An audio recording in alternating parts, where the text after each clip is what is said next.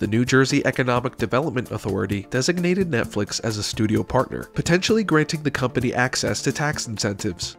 Netflix committed to maintaining a 250,000 square feet production facility for at least 10 years to earn this distinction. Governor Phil Murphy praised the move, aiming to attract more production companies to New Jersey. Netflix co CEO Ted Sarandos expressed gratitude for the state's support, emphasizing the company's commitment to making New Jersey an international production hub. The Film and Digital Media Tax Credit Program, reinstated in 2018 and expanded in 2021, provides significant incentives for production companies.